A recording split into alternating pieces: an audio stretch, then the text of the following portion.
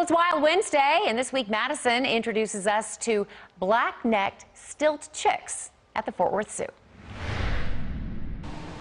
Good morning, I'm at the Fort Worth Zoo and I want to introduce you to some special guests. First, we have Danielle with the Fort Worth Zoo, but we've also got three baby chicks. Danielle, tell me about these three baby chicks. These are our three black-necked stilt chicks. Um, this is a first for the Fort Worth Zoo to have this species hatch here.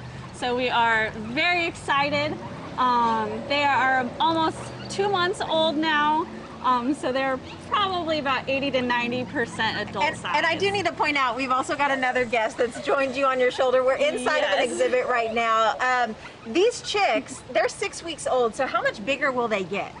Not much bigger. Um, so their bodies will just fill out a little bit more, um, but they won't grow too much taller. And, and their legs are literally like stilts, which is obviously where they get their name. What, is the, what does the body shape help these animals do? Yeah, so they are very aptly named as stilts, and this allows them to wade into shallow marshy areas. Um, as you can see right now, they are eating worms, um, and this is what they will do out in the wild.